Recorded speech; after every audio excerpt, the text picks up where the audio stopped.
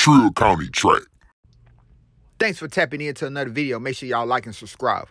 So the phenom, the future of track and field, along with Shawnti Jackson, Miss Mia Pedersen, probably needs to skip college and go straight to the pros. She's only a junior going into her senior season, and we've seen what she did in the 100 and the 200, making the finals in both.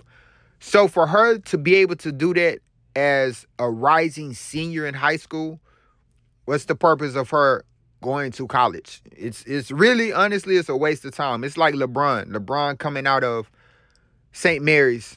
Why did he even need to think about going to play for Ohio State, which he would have went to?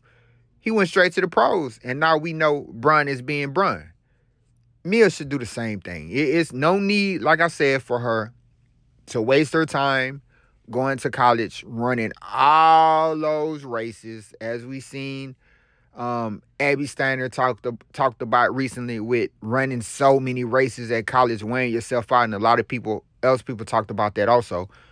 Just the fact of doing that in college is just a waste. Where you can just go straight to getting prepared for the pros, running in the pros, getting your experience up, and being able to adjust to just running X amount of meets a year instead of having to run 60, 70 races and then adjust when you turn pro to running eight or nine. You know, that's something definitely difficult to do. So why would Mia even waste her time thinking about going to one of these major universities? Even though it would be a cool experience, pro probably would be the best thing for her because like I say, going to college could almost hurt her more than help her. So y'all let me know what y'all think about this in the comment section. Make sure y'all like the video and subscribe.